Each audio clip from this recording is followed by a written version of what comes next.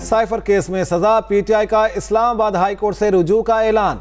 तहरीक इंसाफ के रहन बैरसर गौहर कहते हैं, सजा के खिलाफ इस्लामाबाद हाई कोर्ट में रिट फ़ाइल करेंगे। उन्होंने कहा कि हमारी तवज्जो इलेक्शन से हटाने की कोशिश की जा रही है। हमें सुप्रीम कोर्ट और हाई कोर्ट पर एतमाद है। आठ फरवरी को सबका मुहासबा होगा। करके जज साहब चला रहे हैं और जिस तरीके से चलाना चाहिए, बिल्कुल आईनी और कानूनी तरीक़ेकार से हट कर चला रहे कल भी जज साहब ने अपने तरफ़ से क्वेश्चंस किए और कोई भी जो राइट आपका होता है क्रॉस एग्जामिनेशन का, बारह विटनेसेस को जिस तरीके से क्रॉस एग्जामिन किया, इसकी कभी आपको हिस्ट्री में मिसाल नहीं मिलेगी। तो ये जिस तरीके से लेके जा रहे हैं, आप खुद अंदाज़ा कर सकते हैं कि सरकमस्टांसिस में हम इनसे क्या तो रखें और क्या एक्सपेक्ट करें कि क्या आइन और कानून के मुताबिक होगा। अगर आप किसी एक्यूज़ को आप अपना जो फंडामेंटल राइट्स है वो रिफ्यूज़ कर दे तो डिसीज़न क्या आना है? ये सब दुनिया जानती है। लीगी रहनुमा राना सनाउल्ला ने साइफर केस में सजा कानूनी तरीकेकार के मुताबिक करार दे दी। कहा क्लासिफाइड डॉक्यूमेंट का मवाद तब्दील करके सियासी मफाद के लिए इस्तेमाल किया गया। फैसले पर किसी को एतराज़ है तो अपील दायर की जा सकती है। लीगी रहनुमा राना सनाउल्ला ने साइफर केस में सजा कानूनी तरीक़ाकार के मुताबिक करार दे दी। कहते हैं क्लासिफाइड डॉक्यूमेंट का मवाद तब्दील करके सियासी मफाद के लिए इस्तेमाल किया गया। फैसले पर किसी को एतराज़ है तो अपील दायर की जा सकती है। फैसला आईनी और कानूनी है यह फैसला बहुत ज़रूरी था। रहनुमा एम के मुस्तफ़ा कमाल की एक्सप्रेस न्यूज़ से गुफ्तगु। कहा, बानी पीटीआई और शाह महमूद कुरैशी ने सियासी फ़ायदे के लिए खुफिया दस्तावेज़ इस्तेमाल की। मुल्क की सालमियत से खेलने की किसी को इजाज़त नहीं होनी चाहिए। फैसला आईनी और कानूनी है, ये फैसला बहुत ज़रूरी था। बानी पीटीआई और शाह महमूद कुरैशी को सजा के बाद कैदियों वाला लिबास अलॉट। जेल मैनुअल के मुताबिक बानी पीटीआई और शाह महमूद कुरैशी को कैदियों वाले दो दो लिबास दिए जाएँगे। बानी पीटीआई और शाह महमूद कुरैशी को सजा के बाद कैदियों वाला लिबास अलॉट कर दिया गया। बानी पीटीआई ने तोशा खाना केस में हक दिफा खत्म करने का फैसला इस्लामाबाद हाई कोर्ट में चैलेंज कर दिया। इस्तः की गई एहतसाब अदालत का उनतीस जनवरी का फैसला कलदम करार दिया जाए। फैसला कलदम करार देकर दरखास्त गुजार का अपने वकील के ज़रिए हक के दिफा बहाल किया जाए। बानी पीटीआई ने तोशाखाना केस में हक के दिफा खत्म करने का फैसला इस्लामाबाद हाई कोर्ट में चैलेंज कर दिया। FIA anti money laundering circle, Lahore की मोनी सलाही के खिलाफ मनी लॉन्ड्रिंग और करप्शन केस में अहम पेशरफ एफआईए, लाहौर ने मोनी सलाही के इंटरपोल के ज़रिए रेड वारंट जारी करवाने के लिए मरासला भिजवा दिया। स्पेशल जज सेंट्रल कोर्ट ने मुलजिम मोनी सलाही को इश्तहारी करार देते हुए दायमी वारंट गिरफ्तारी जारी किए थे।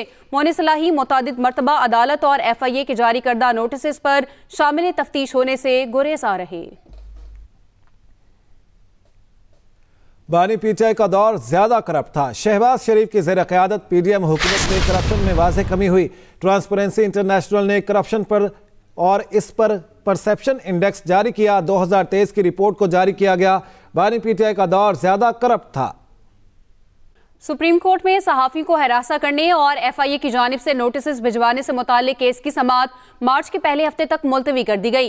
अटॉर्नी जनरल ने सहाफ़ियों के खिलाफ नोटिस पर कार्रवाई इंतबात तक मौखर करने की यकीन दहानी करवाई। सुप्रीम कोर्ट ने पी एफ़ यू जे को मुकदमे में फरीक बनने की इजाज़त दे दी। मजीद जानते हैं जहाँ से बाबासी से चीफ जस्टिस काजी फायद ईसा की सरबराही में तीन रुकनी बेंच ने केस की समात की। चीफ जस्टिस ने रिमार्क्स दिए तो थी। कोई तहरीरी दरख्वास्त आएगी। अगर आपको जर्नलिज्म को स्ट्रॉन्ग करना है तो ये आपको ही सोचना होगा कि कैसे बेहतर करें।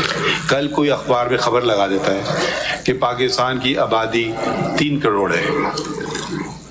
गलत है ना? गलत है। इस पे तो कोई ये नहीं कि कोई कानून तोड़ा है कुछ है। झूठ भी है। ठीक। मगर रहेगी बात। क्या आप करेंगे? कुछ भी नहीं करेंगे। जस्टिस मोहम्मद अली मजर ने रिमार्क्स दिए। डिजिटल मीडिया को रेगुलेट करने के लिए कोई कानून नहीं। चीफ जस्टिस काजी फायज ईसा ने कहा जब कानून ही नहीं तो क्या करें? Matter regarding journalist will not be taken up or proceeded? will be taken up or proceeded by FIA before the elections. elections. अदालत ने अफसार आलम पर हमले की तहकीकाती रिपोर्ट भी तलब कर ली जिसके बाद केस की समात मार्च के पहले हफ़्ते तक मुलतवी कर दी गई। साथी रिपोर्टर वकास अहमद के हमरा, Jahanzeb Abbasi express news, Islamabad. Peoples party जिन हालात से गुजरी, तहरीक इंसाफ ने अभी कुछ नहीं देखा। बिरावल भुटो जरदारी का सोशल मीडिया पर पहला पॉडकास्ट। मैं बदतरीन दुश्मन के लिए भी नहीं चाहूँगा कि इन हालात से गुजरे। हम जिस शाख पर बैठे हैं, उसे ही काट रहे हैं।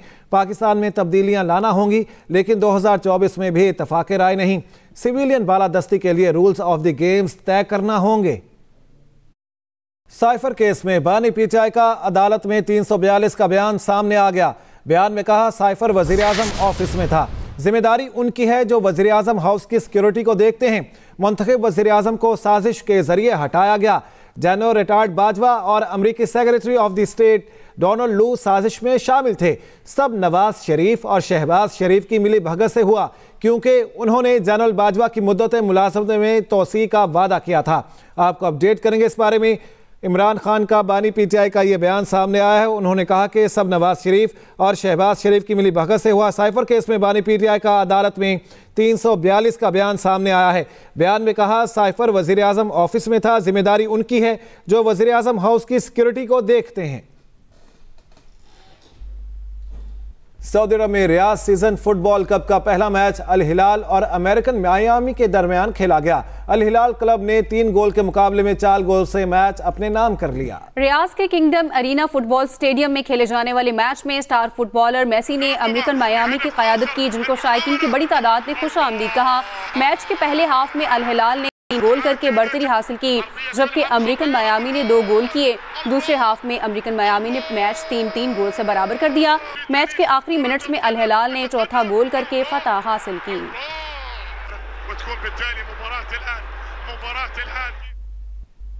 वफाकी काबीना ने एफ़ बी आर की तौर पर समरी की मंजूरी दे दी। जराये के मुताबिक मंजूरी के लिए कानून साजी की ज़रूरत है। इलेक्शन कमीशन ने गैर रस्मी तौर पर आगाह कर दिया है कि ये गलत होगा।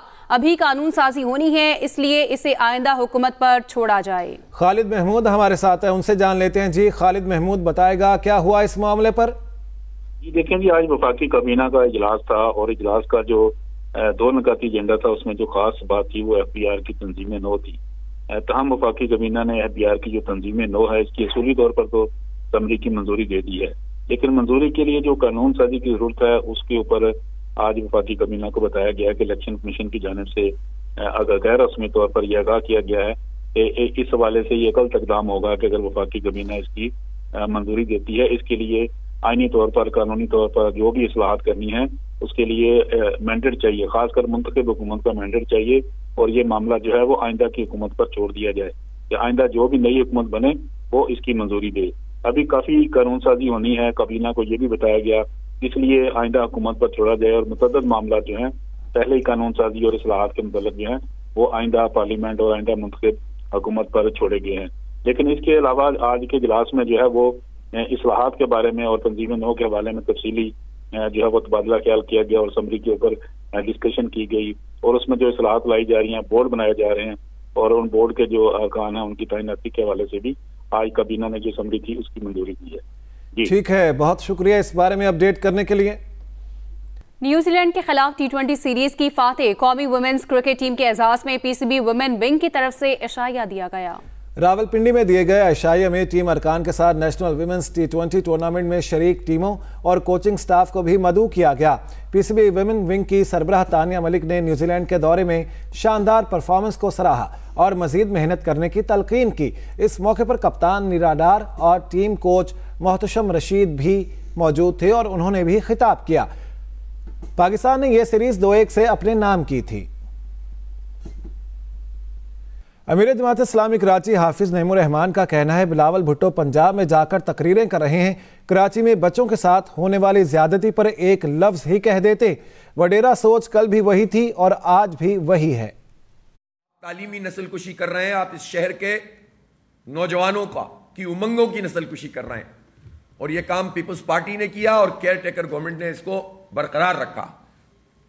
मैं पूछना चाहता हूँ, बिलावल, आप पूरी दुनिया को बता रहे हैं, आप पंजाब में जाकर तकरीरें कर रहे हैं।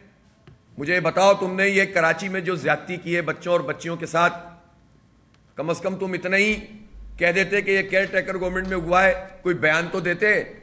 करप्शन परसेप्शन इंडेक्स में वाज बेहतरी, शहबाज शरीफ की करप्शन से पाक हुकूमत की अवामी खिदमत का आलमी सबूत है। तर्जमान मुस्लिम लीग नून मरियम औरंगज़ेब कहती हैं, ट्रांसपेरेंसी इंटरनेशनल की रिपोर्ट नवाज़ शरीफ और शहबाज शरीफ के खिलाफ साजिश करने वालों के मुँह पर तबाचा है। रिपोर्ट नून लीग की करप्शन के खात्मे और शफाफ हुकूमत की मिसाली कारकर्दगी का एतराफ़ है। ट्रांसपेरेंसी इंटरनेशनल ने दुनिया को दिखा दिया, सादिक और अमीन कौन है और कौन करप्ट है। करप्शन परसेप्शन इंडेक्स में वाज बेहतरी। शहबाज शरीफ की करप्शन से पाक हुकूमत की अवामी खिदमत का आलमी सबूत है। तर्जमान मुस्लिम लीग नून मरियम औरंगज़ेब का रद्दमल सामने आया है। उनकी जानब से कहा गया, ट्रांसपेरेंसी इंटरनेशनल की रिपोर्ट नवाज़ शरीफ और शहबाज शरीफ के खिलाफ साजिश करने वालों के मुँह पर तमाचा है। खबर है, सुप्रीम कोर्ट से फहमीदा मिर्ज़ा और जुल्फकार मिर्ज़ा के कागजात नामजदगी मंजूर होने के खिलाफ अपील पर समात अदालत ने सिंध हाई कोर्ट का तफसीली फैसला आने तक केस मुलतवी कर दिया। चीफ जस्टिस काजी फायज ईसा की सरबराही में तीन रुकनी बेंच ने समात की। वकील फारूक एच. नाइक बोले, फहमीदा मिर्ज़ा और जुल्फकार मिर्ज़ा बैंक डिफॉल्टर हैं। सिंध हाई कोर्ट ने फहमीदा मिर्ज़ा और जुल्फकार मिर्ज़ा को इंतबात लड़ने की इजाज़त दी। चीफ जस्टिस पाकिस्तान ने कहा, हाई कोर्ट के तफसीली फैसले के बगैर कैसे सुप्रीम कोर्ट आपको सुन ले? इंतबात से सात रोज कबल कैसे किसी को इलेक्शन लड़ने से रोक दें? अपडेट कर रहे हैं अदालत ने सिंध हाई कोर्ट का तफसीली फैसला आने तक केस मुलतवी कर दिया।